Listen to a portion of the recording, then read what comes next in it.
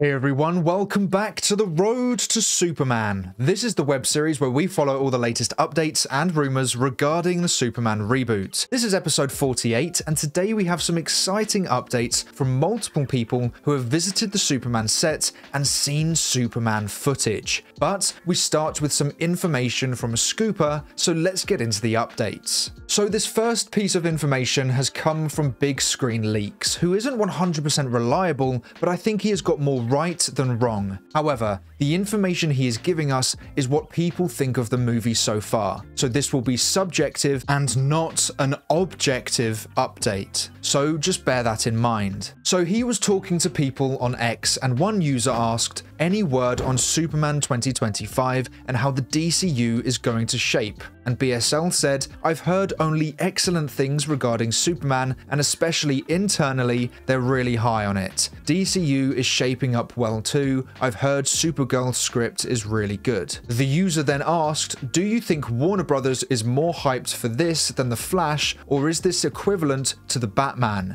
And BSL said, the way people are talking about it is very different from The Flash in the best way possible. This movie is the real deal. And then another user asked, asked how exactly is it very different? The Flash was supposed to be one of the best superhero movies ever. From test screenings, Scooper, even Gunn, they all said so. And then BSL finally responded with, It's really hard to describe because it's all been in conversations, but the way people are talking is just different. I can't really explain it, but it's different in a good way. There's a light at the end of the tunnel and people know that. So like I said, very subjective updates from BSL there, and I can understand the lack of trust people have with this update and the movie in general. But we will get onto that a bit later on. So for now, let's break down what he has said. So it seems that the atmosphere surrounding the Superman movie is positive and is different to how it was around The Flash, but in the best way possible. Now I think I kind of understand what he means, but it took me some time to really process it. We have to add context to this situation. Think of DC before DC Studios. Walter Hamada in charge and constant hit pieces from DC being put out through news outlets like Deadline and The Wrap to try and make DC look better. They always try to push the blame onto actors or directors or sometimes even fans, instead of taking the blame themselves. I'm sure you all remember them. DC under Hamada was a mess and a pretty toxic environment. I strongly believe that whilst Warner Brothers damaged the DCEU before Hamada came in, he was the one who truly killed it. And since he has left, the studio has become better. Whether you like Gunn or not, you have to admit he is bringing organization to the studio. A fresh restart with the DCU and planning out the next 8 to 10 years of storytelling. That is already more than what Hamada did at DC, so the culture at the studio has changed. Also, back when Hamada was there, every time a new DCEU movie was releasing soon, articles would come out describing that film as the best DC movie since The Dark Knight. It actually became a meme throughout the DC fandom, and every single time the movie did not live up to that description, including the Flash movie. So I think when BSL says the way people are talking is just different,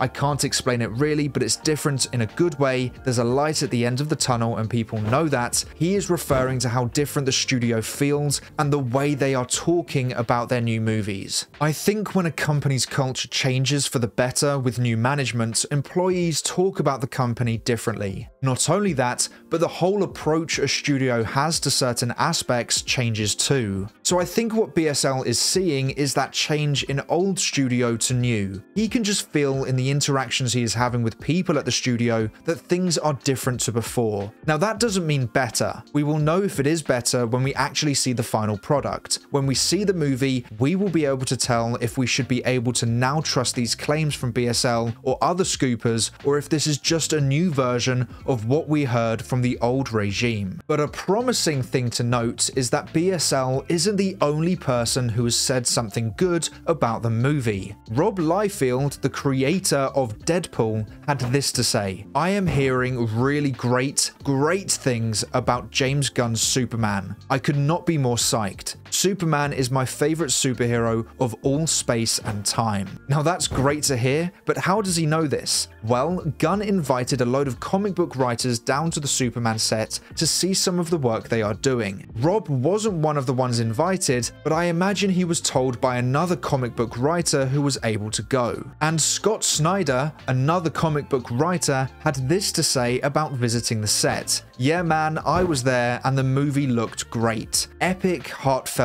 and fun. So the theme seems to be that people who have seen parts of the movie think the movie looks great. And that's a really good thing to hear, but how believable is that? On one side, you could say, well, these comic book writers are DC experts, so if they think it looks great, then that's a really big compliment. But on the other hand, you could easily say, well, firstly, Geoff Johns was a successful comic book writer, but knew nothing about how to make a good movie. And secondly, maybe their opinions could just be biased or just PR talk to try and make the movie sound better than it is. It all depends on how you take this information. And that really depends on your mentality towards the Superman movie. If you're pessimistic or don't trust the studio at all, then you'll think this is just a desperate attempt at trying to act like the studio has changed and their movies are now so much better. But if you're optimistic or excited for this fresh start and fully believe in the DCU, then you will be over the moon with this news and believe these claims. Now for me, I try to be as optimistic but as realistic as possible. We simply do not know if this information is credible until the movie comes out unfortunately, because all this information is opinion based. We're not hearing details about the plot or when a trailer is going to come out. These are opinions on what they have seen. So the issue issue with this news is that the people working within the studio will obviously have a bias towards their own work and their own team. But at the same time, that doesn't mean the movie can't also actually be good,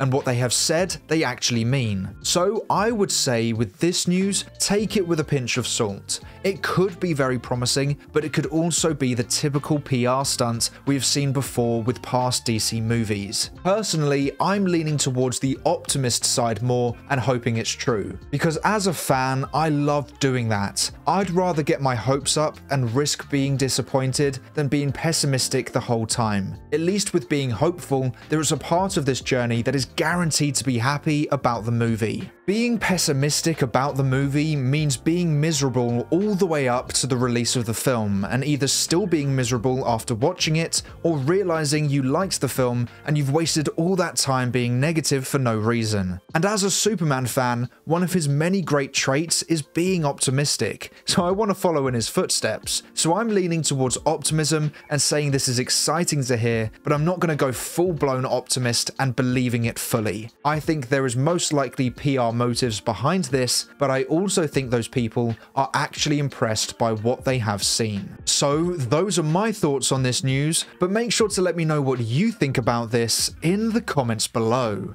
But that is all for today's episode of The Road to Superman. Thank you so much for watching. Please make sure to like, subscribe, and turn on post notifications so you never miss an episode. I hope to see you here again soon, so until then, have a great day. Bye!